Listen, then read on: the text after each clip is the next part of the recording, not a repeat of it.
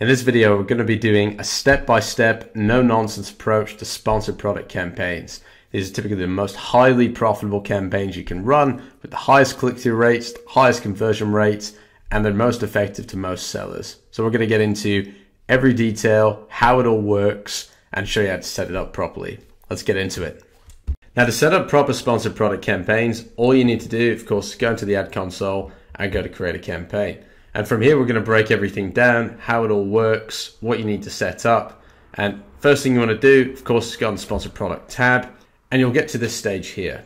Now, firstly, when it comes to ad groups, if you want to have an ad group name, that's entirely up to you. You could do ad group one, for example. But in most cases, you want to do one ad group per campaign. There's no need to have multiple ad groups unless you're testing slight differences in what you're actually targeting. But in most cases, it just clutters your campaign. It's better to stick to one ad group per campaign. So, of course, go ahead and select your product. And then next, you'll be choosing what you're targeting. So, we're going to get into both of these in a moment. But first, we'll start with manual targeting, as is the most important one to do. And then, of course, keyword targeting. So, keyword targeting and product targeting. There's a pretty big difference between the two. Keyword targeting we'll start out with, but obviously, if you're choosing between the two, you are sometimes going to be showing up on products anyway, and especially if you're running auto campaigns or broad match, you will get ASINs turn up. But this is giving Amazon the preference that you actually want to run on. So it's worth obviously selecting the one you're going to go for and keeping these separated if you can. So make sure you choose keyword targeting here. And then next, you'll get down to keyword targeting itself. So between the three match types, what you want to consider is that they all operate in different ways. So exact match will work exactly as it says. The word will be what you write. So no changes, nothing else will show up, just that keyword. So that's what you're going for, that's what you need to input. Phrase will include the actual keyword plus anything in addition. It's a great way to find long tail keywords and it's a great way to expand what you're actually targeting. But if you know what you're targeting already, best stick with the exact. So, on top of that, broad is something you can use as well. Now, broad, it works in a different way. If you put two search terms in, you're not always going to get those two search terms within your target. They're going to look at what you're actually targeting and they can include close match, substitutes. They can go as broad as they want. So in some cases, I do use it. I use it as a modified broad by putting the plus sign in front of each search term. But in most cases, I don't like to use broad. It can cost a lot of money, it's a lot of wasted spend. It's more efficient to use phrase and exact, but it's up to you what you want to do. So that's how that works. Of course, then you can go ahead and select your keywords. Make sure you have the right amount set on there.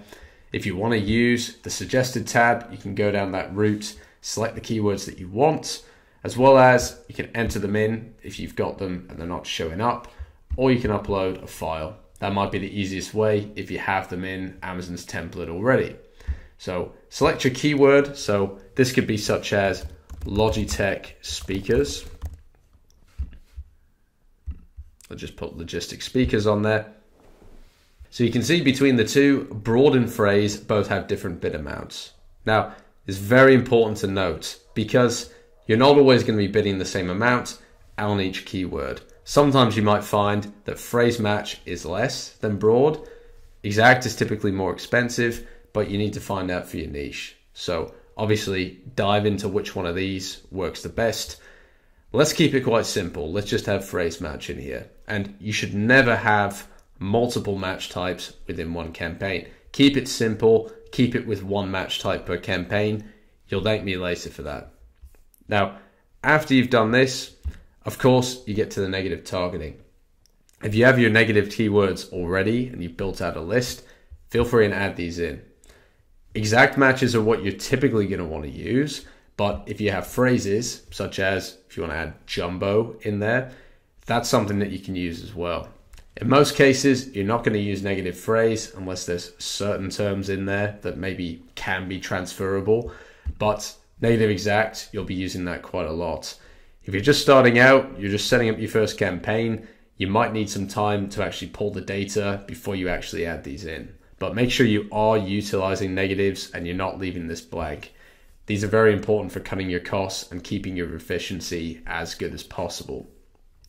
Now, next is the dynamic up and down. So, when it comes to dynamic bidding, it all depends on your objective. So, for example, dynamic up and down, that will allow your bids to go up and down by 100%. So, this you'll use in most cases when you don't know what you want to bid for a product. So, if you say no, what you're going to bid, say it's around $2, then you might want to use fixed bids because you know the bid you're going for, that's what you want. You can set it at fixed bids and you won't have to worry about it being up or down. So this is an option. It's an option we use for a lot of clients, but typically down only is what we need.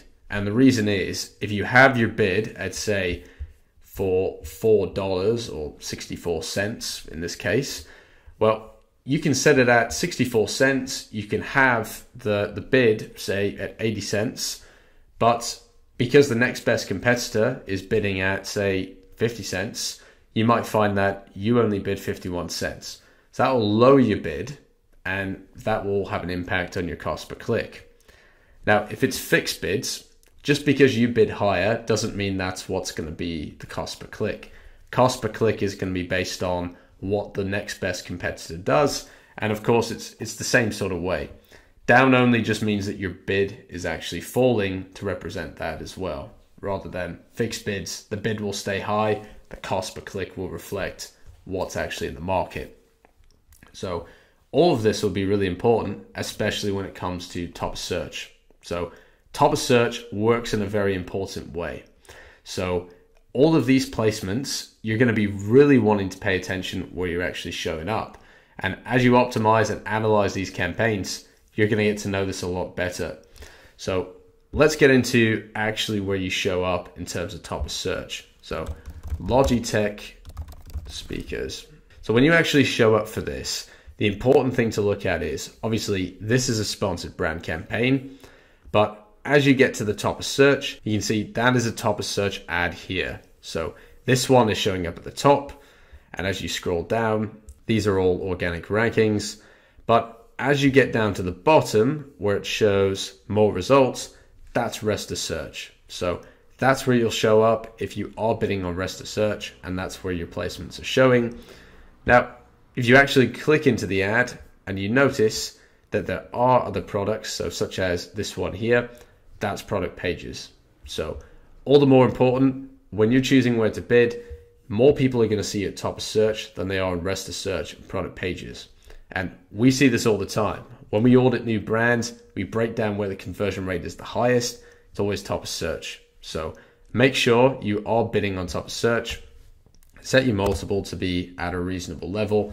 Maybe it's 20%, maybe it's 100%. Whatever it is, make sure that's in the right place. Then you can make sure your ads are showing in the right place and converting at the right level. Now, when it comes to naming your campaigns, there's a really important thing to do so you can identify exactly what's running within your PPC campaigns.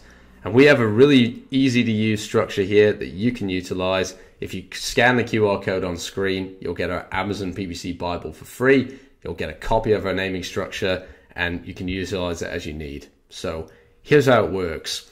Obviously, if you have a certain naming structure, you want to include as much information in there as possible. So, for example, getting into the naming structure, you want to first include what the product is. Have a couple of words in there so you can just search the product name and it will come up. You want to include information in here so that when you search for the ad type, the ASIN, the SKU, whatever it is, that all shows up quite easily. So when it comes to naming products, what you want to do exactly is first have the name of the product. So whether it be steel mug in there, you want to have that the first name. So first part is the name of the product. Then you want to have the ad type. So sponsored products in this case. Then you want to have the match type, exact match. So EX for exact. You can see in here, we have all of this laid out in a very easy to read way. So you can just copy and paste and utilize that as you need. Then you want to put the parent ASIN in there. So if you do want to track it on parent ASIN level, put the parent ASIN next. Then you want to put the child ASIN. Then once you've done all that, it's all good to go. So let's utilize this as the example. And once you put that in there, what you need to do is look at what portfolio you're going to use. And obviously, create portfolios as you want. You don't need to have them, but if you do want to have them organized in that granular way, portfolios are a good way. So obviously, group that by parent you can group it by product type. However granular you want to be, you can do that. And then you get to start dates. So if you are going to be launching a campaign that just runs continuously, you can go ahead and just leave that as no end date. It's typically what we do. But if you know that you're running a campaign, say for the Prime Day period, the holiday season, you can set that to end at a certain point. But typically, we can just pause the campaign, so it's no problem. Daily budget should be based on the amount of clicks you want on a keyword. So, for example, this, we might add in, say, 10 keywords in there. And we want to get a certain amount of clicks on this campaign, whether it be 30, 50, 100 clicks, whatever it is a day, we set our target and we base the budget on that. So, bidding wise, we will want to look at what we're going to spend. So, say that is a dollar a click, we're going to budget at 100 clicks we want a day, we would then want a $100 budget. Now, you do need to make sure that's realistic in terms of the search volume for the keywords. Some keywords don't have the search volume to actually sustain that. So do keep that in mind. You can't just set a $100 budget and expect to spend it. But when it comes to the bids, if you have good search volume keywords, what you can do is make sure the bids are at a good level. And on that, you will start to spend and you will get top of search. But if you do have your bids, placements, and budgets in the right place, you will get those clicks that you're after. Now, obviously, after you run the ads, it's all down to you how well they convert. You need to make sure your pricing, your listing, your reviews are all in the right place. But the best thing you can do is make sure your PPC's in check and you can start working on everything else. Now, next, obviously, when it comes to product targeting, this is something that you can also do and have a bit more granular control of what you target. So, most cases you're going to go for individual products, but maybe you want to go for the category. It's not always going to be the best option. Sometimes brands convert well on it. It's not all the time. So, you know, typically you'll be going for individual products. And here you can go by exact, for example. You can add certain products to your list here. So go ahead and enter the list as you would. And any ASINs that you think are a good fit, you can copy and paste them there. You can upload them via the templates, or in some cases, you can search them. Some should show up under your competitors here, so it should be relatively easy to add these in. But the main thing to look at when it comes to product targeting is price and reviews.